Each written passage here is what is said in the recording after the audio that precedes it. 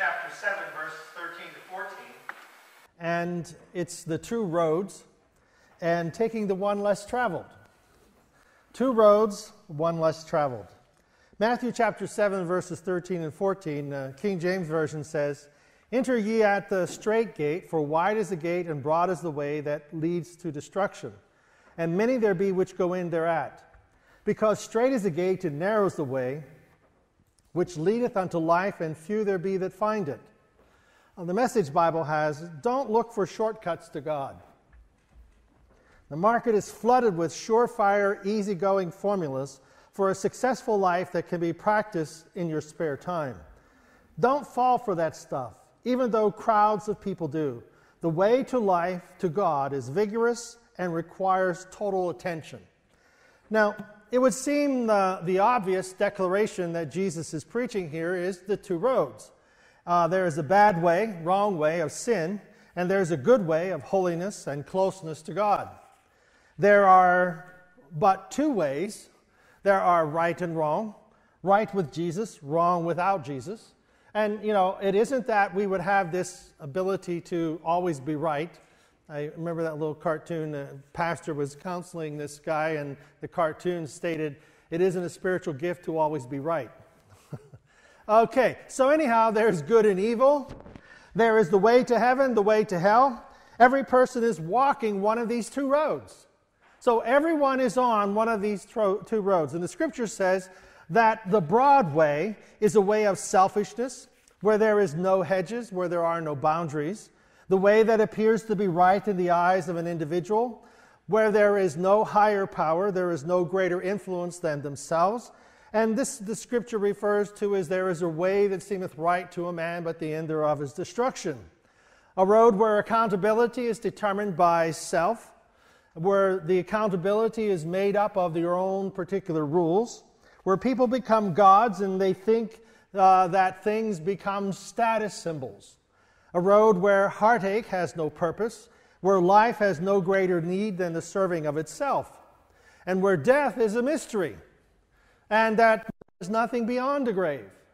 And as we continue to see what this road, what this road may look like, it is a road where laws are made to be broken, where selfish desires become the dreams of our destiny, where progress is determined by stepping on or over people trying to achieve that great status that is ever elusive. The broad is the way that leads to destruction, and many there be which go in thereat. The Message Bible says, Don't look for shortcuts to God. So, whenever we think of being two roads, when we think of that there is a path of righteousness, there's a, ta- there's a path of unrighteousness. And sometimes it's hard to know. Uh, and there, there are black and white, but yet there are no, there's seemingly gray areas. Well, can I do this and can I do that? Well, which road are we on and how do we want to live on this road? And I think that in the scripture that Jesus is telling us here, and that there are two roads, but there is characteristics that we are to follow on these roads. The road of straight is the narrow, straight is the path, narrow is the gate. And there, is, there are characteristics that are to dominate this road. But this being able to choose, being able to choose which road and understand the, the characteristics of the road. Anybody ever hear of um, Robert Frost? Yeah, he's the guy who makes cakes, frosted cakes. Robert Frost is a po- has a poet, and anybody know the name of his one of his famous poems, "The Road Not Taken"? Anybody ever read that one? The Road Not Taken. I'll read it if you haven't. Two roads diverge in a yellow wood, and sorry I could not travel both. And be one traveler, long I stood, and looked down down one as far as I could, to where it bent in the undergrowth. Then took the other, as just as fair, and having perhaps the better claim because it was grassy and wanted wear. Though as far that the passing there had warned them really about the same. And both that morning equally lay, in leaves no step and trodden black, Oh, I kept the first for another day. Yet knowing how way leads on to way, I doubt if I should ever come back. I shall tell I shall be telling this with a sigh, somewhere ages and ages hence. Two roads diverge in a wood, and I took I took the one less traveled by, and that has made all the difference. So the road two roads less one road less traveled, taking the road less traveled. The road not taken in this um, poem, critics have tried to analyze the poem, and to what end the poem takes is truly, you know, up to the reader. We sometimes try to get into the mind of the poet to know what Frost's intention was and what he was trying to say. Well, probably he was trying to say, it's up to you to determine the way. And how that we look at it and find that uh, there are two roads. There are always two roads to choose from. There's always a, a choice that we make. And we wonder, what are the choices and where will the road take us? You know, and whenever we think of this, and, and um, when I think of this, I think of people. I think of people that perhaps, perhaps, well, some sat here years ago, many years ago, uh, and at that point in their life, they were. I, there's one individual I remember, but it, I'm not going to tell you who it is and stuff like that. But I remember one individual that sat here, and he and his wife and children were here in church. And it was a crossroads in that individual's life. And I don't think they, that he knew what it was. Because he talked to me about coming to church, and he came a couple of times. He said, You know, I just don't think this religion thing is right for, for me and my family. I, I don't think that, this, that it's so narrow because I, I'm kind of exploring these, the spiritual stuff. And, you know, it's like it was including all everything. Well, anyhow, this individual never came back to church. And in this case, this person went down the wrong road, which led to the you know, just total disaster for his life and for the, the life of his family. And I always felt bad because, you know, whenever you think of that, uh, you think of how, what if you had said something differently? What if you had been able to present the message in a different way? What if you had been able to say things differently? Would have that made a difference in his life? And I, don't, I, I don't know. I can, you know, just don't know. But the final decision is always up to the person. And we will stand before God, and that person can't say, Well, you know, that preacher didn't say it right, or I would have believed. well, we, can't, we have to look at our life and realize that we are at a crossroads. We make decisions all the time. And we've got to make decisions based upon the truth of God's Word. And how that it isn't, God doesn't look to separate us from Him, He looks to bring us close to Him and that every trial and every difficulty may not originate with God, and that things of the past may have been totally blown out of the water and blown away. But that, that's not the important thing. The important thing is that we recognize that we're, we're traveling with God, and that God is with us, and that we make decisions based upon our understanding of God and His love for us, and staying on a path that will take us to where we need to be. Because there are lots of paths, there are lots of trails that will lead to destruction, and they look very appealing. They look as if this is the place and this is the direction I want to go because it fits in with my group that I am associated with. Or it fits in with, you know, an easier task. Well, I'm not good enough for being a Christian. You see, those are the roads and the temptations that lead to destruction. And God doesn't lead us on that path. God leads us on a path that will take us someplace. That place is heaven. And our past is not what dictates whether we go to heaven or not. Our present and our relationship with Jesus Christ is what determines where we will spend eternity.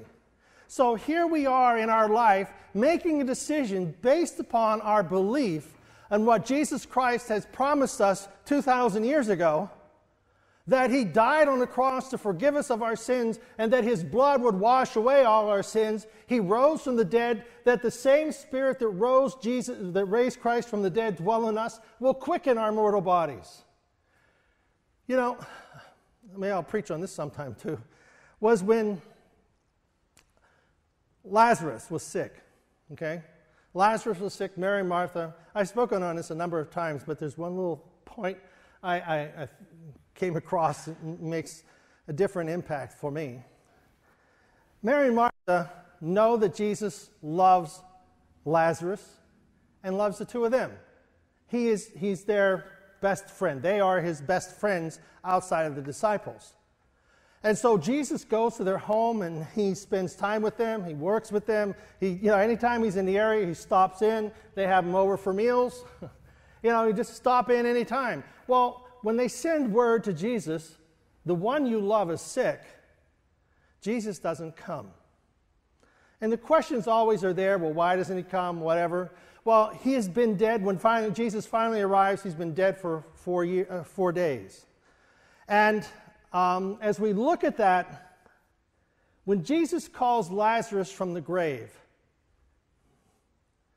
he resuscitates him, he doesn't resurrect him he resuscitates him. Now, what that means is, you know, we put us on the paddle, put on the ventilator, you know, you bring it, resuscitates, bring him back to life. He resuscitated him, he didn't resurrect him. Because Jesus Christ is the resurrection and the life, and Jesus hadn't risen from the dead yet. And so the resurrection of Jesus Christ from the dead instills in believers the resurrection power. So we can be resuscitated, and, and Lazarus was resuscitated to die again at some later date. But he knew where he was going, and he knew whereof he was going because he was going with Jesus Christ. And Christ is with him. And in our life, there is this understanding about God's love and God's life in us that no matter what happens, we are safe in the arms of our Father and that we will go to eternity and heaven is our home and we have a place there. Not because we've earned it, but because Christ has forgiven us. We have accepted it. Well, the road not taken, critics have tried to analyze this poem over and over again. And one person, Eleanor Sickles, S I C K E L S, says the human tendency to wobble illogically in decisions and later to assume that the decision was, after all, logical and enormously important, but forever to tell of it with a sigh. Now, in this, in this poem of Frost, it says, I shall be telling this with a sigh, somewhere in ages and ages hence. I will be reflecting back on this decision with a sigh.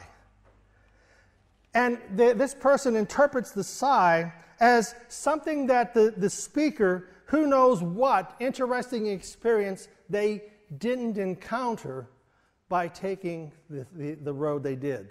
Because there were experiences on the other road.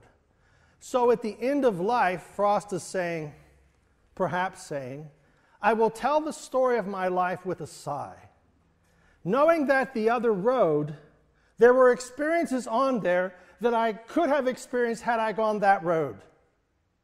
Well, whenever we are talking about this road that Jesus is telling us of, of the narrow gate and the straight is the gate and straight is the way and narrow is the gate, we will never, ever repeat in eternity that we look back on our life with a sigh.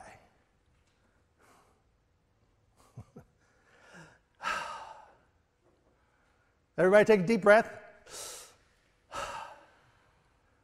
You know what a sigh is? It's like, I should have said something else. I should have gone somewhere else. The if onlys. But you know, this road that we take with Christ, we will never have a sigh.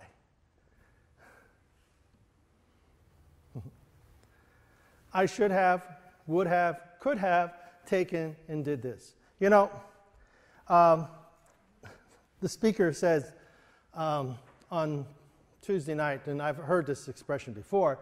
If you remember the 60s, you weren't there. And uh, he's, you know, what's he talking about? Well, you weren't part of the, you know, the drug culture, the, you know, the free love, the whatever the 60s represent. Well, I was there and I remember. Why? Because I was in church. I was in Christ. In college, that was all the, they, the first year Rhonda was there, her, I was a year ahead of her. Uh, it's the only time I've ever been ahead of her in my life. But anyhow, so uh, anyhow, um, you know, the first year, we, well, I think it was her first year, that uh, they, you know, the drugs really started coming into, into university and stuff, and they kicked everybody out that was, you know, kicked out about 15 students who were using drugs. And by the senior year, uh, you know, of, of that college, uh, if they'd kicked out everybody who'd been on drugs, they'd have kicked out three quarters of the school. And, you know, because it was just one of those things going on at that time. But it was interesting that the ones who became be, got hooked up on drugs and hooked up on alcohol and the partying and going and being the partying scene and all that, they didn't finish. They didn't finish in their appropriate time, and if they did finish, it was just barely getting by and being able to, to get through. It destroyed, their, it destroyed their life. And you see, we have a place of beginning. And so as I look back over the 60s and the 70s, I don't do that with a, with a sigh because I was doing what I felt was right in serving God. And I did, and, I, and in my dorm room, I had three other guys, and I would, you know, my best friend uh, at the time, he, uh, you know, I'd have to put him to bed. He came in so drunk, you know. And I'd just push him up on the top bunk, and he would be drunk, and, you know, and we would talk about God. The other day, I, I called him, uh, well, it was been, been a couple of years ago, I called him. And uh, I was, the other day, I was talking about this, and I remembered. I said, hello, is Bob there? You know, I called up his office, and, and you mean, you mean Dr. So-and-so? I said, oh, yeah, Bob. and then uh, he said, they said, well, who shall I say is calling? I said, well, tell him the most holy reverend bishop of Windber is calling. And the secretary says, Oh, Father, I'll tell him right away.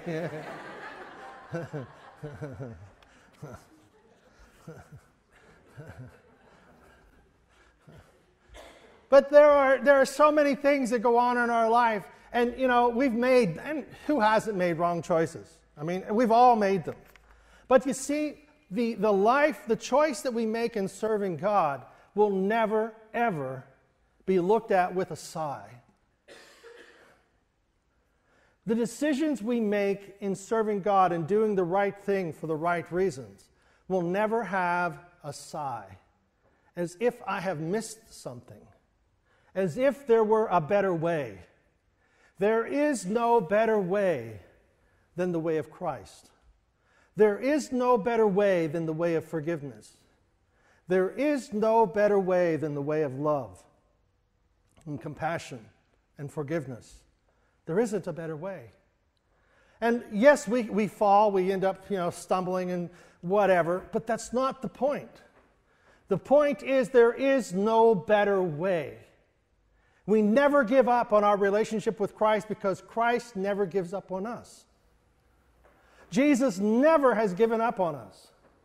No matter where we've been, no matter what we've done, Saul of Tarsus, the killer of Christians, God didn't give up on him met him on the road to Damascus and says, Saul, Saul, why are you persecuting me?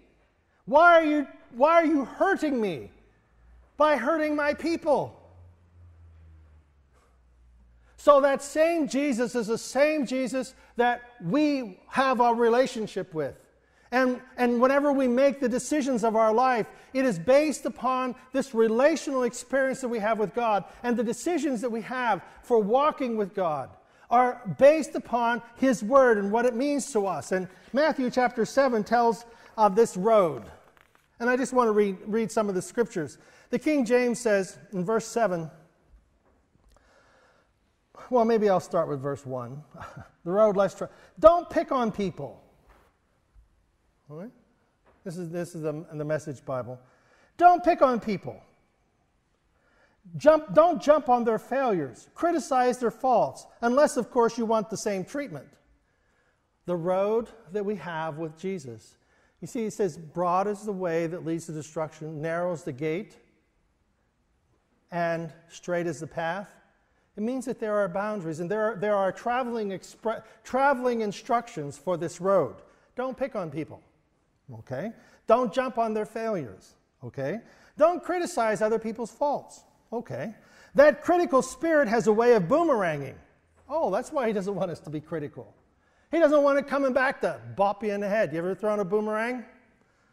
I never did. Couldn't get it. I could never get it to come back. It's easy to see the smudge on your neighbor's face and, and be oblivious to the ugly sneer on your own. Do you have the, the nerve to say, Let me wash your face for you, when your own face is distorted by contempt? It's this whole traveling road mentality all over again, playing the holier than thou part instead of just living your part. Oh, so you see, being a Christian and following the road isn't playing a part, it is living the part. We aren't playing the part of a Christian. I'm going to dress up like a Christian today, and I'm going to wear this and act like this to become a Christian.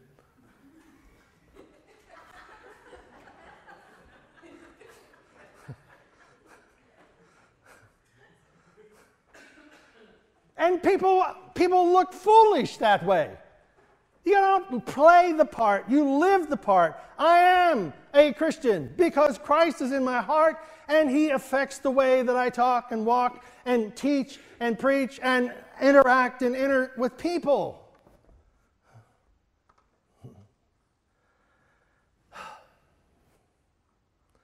You know, Mother Teresa uh, in Calcutta uh, one of the missionaries, I think I, I know I told the story before, but I'll tell it again. The, the, he's walking, one of our ministers is walking with her uh, down a road, down a street in Calcutta. And while they're together, she stops and goes to a doorway and is holding this man in the doorway. And she's saying, Oh, I found him. Oh, I found him. And, you know, the preacher thought, Oh, he, she found somebody that she knew. And she was holding him, and he, he died. And the, priest, the minister says, Oh, did you know him? She said, No. That was Jesus, and I just found him there. As you have done it unto the least of these, you have done it unto me. You see, we're not acting a part, we are living the part of a Christian. And that whenever we live the part of a Christian, we are expecting the power of God to flow through us because we can't be this on our own. You can't be a Christian without Christ. And you can't, you can't live in the power of God without the power of God flowing through you.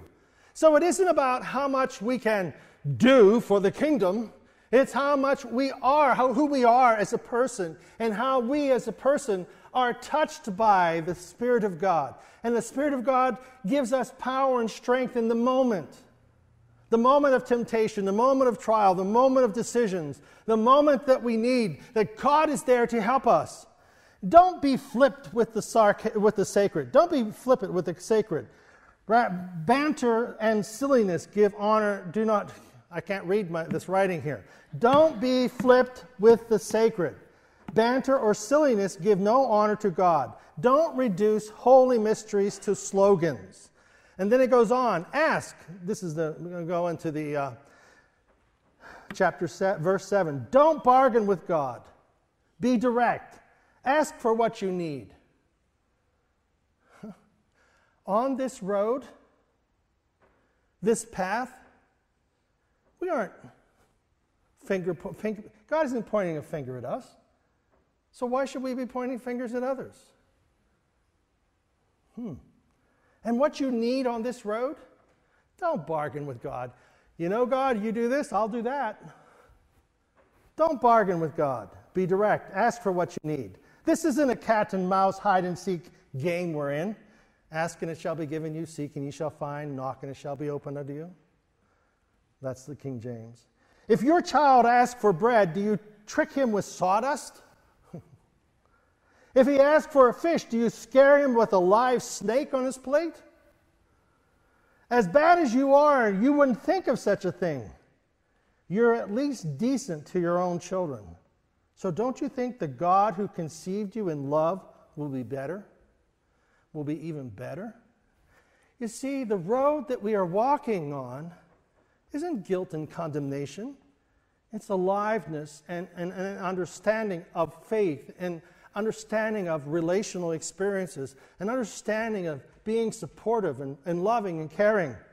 Here's a simple rule of thumb ask yourself what you want people to do for you, then grab the initiative and do it for them. Do unto others as you'd have them do unto you. Grab the initiative and do to others. You see, that's what we're talking about whenever we look at this road. It isn't looked back on with a sigh. Wonder what would happen if I had taken the other road. Well, the scriptures tell us if we reject Christ, we're lost for an eternity. But not only that, in this life, we're alone. We're without hope. And nothing but my highest goals are all that I can achieve. It's so limiting. You know, that's, it's, it's, it's really something how that critics will tell Christians that they are limiting their life. They're limiting what they can be whenever you become a Christian because you can't do this and can't do that. But it's just the opposite. As a Christian, we have the universe as our playground because the God who created it is a God who lives in us. And this is His universe. This is His place. We are His children. And the creativity that is in our minds is the creativity that He has given us. And that same Spirit that raised Christ from the dead, there is a power and an expectation that is alive in us that is greater than anyone could ever imagine because we cannot even imagine the things that God has prepared for us. And so, in our hearts and in our minds, there's a way that God is at work in us. And whenever we travel this road, there is no sigh. If I had taken the other road, I would be lost. But I'm not lost. I still have to make decisions. I still have to pray and ask for God's guidance. But you know, no matter what road, God has a way of working all things together for good to those who love Him and are called according to His purpose. God has a way of taking my road and you know, I may have gotten off a little bit, but you know what? God has a way of bringing me back. God has a way of keeping me on the path. I may fall down. I may need to camp here for a while, but that's okay. Because I will not reach eternity and look back with a sigh. I will look back and say, God, you have taken, guided my footsteps every step of the way. That's assurance. See, Jesus is talking about the road. He's talking about the choices and how we live on this road. How we live on this road. It's not a condemnation or a guilt trip. It's not a narrow life, it's a full life.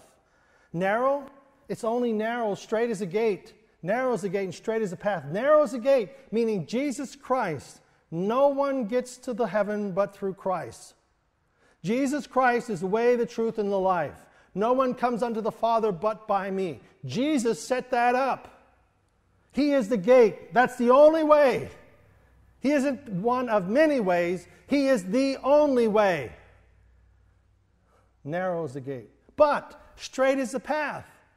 That this path that I am on is taking me to my destination, my heavenly home. And on this journey with to my heavenly home. I am walking with Christ each step of the way. And I know that I'm not to jump on other people's problems and kick other people when they're down. I'm to help people whenever they are in need. I am to love people when they are there. And as Mother Teresa found that one in need, she said, I found him. I found him. I found Jesus. she found one that she could help, just as Jesus would. You know, and I'll close with this. In Sunday school, I talked about Peter. and how that shortly after Pentecost, Peter comes across this individual who is lame, can't walk, you know, crippled. And Peter says, Silver and gold have I none, but such as I have give, it, give I unto thee. In the name of Jesus Christ, rise up and walk. What Peter was doing was, it dawned on him at that moment that he was a continuation of the life and ministry of Jesus Christ. That's when it all came together. That's one of the first miracles. And he said, In the name of Jesus, he recognized that what Jesus was doing, he is now a continuation of. And that the power of Christ now flows through him to touch the life of this needy man. That's us. The continuation of Christ flowing through us to touch the needs of the lives of others. We have a purpose on this road less traveled. Shall we stand?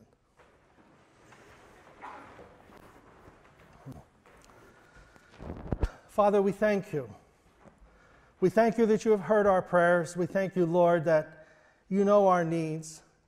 And God, there is no sigh of what could have been, only what is, and the power to make the right choices where we are at in our life. I pray, Lord, you encourage our hearts, you give us the strength for this day. Flow through us, O Lord. Let your power, your spirit just flow through us and encourage us, O Lord, as we realize the value that you have upon our life. Thank you, Jesus, for hearing our prayer. Thank you, Jesus, for moving in my life and touching me right here where I'm at. We pray this in Jesus' name. Amen.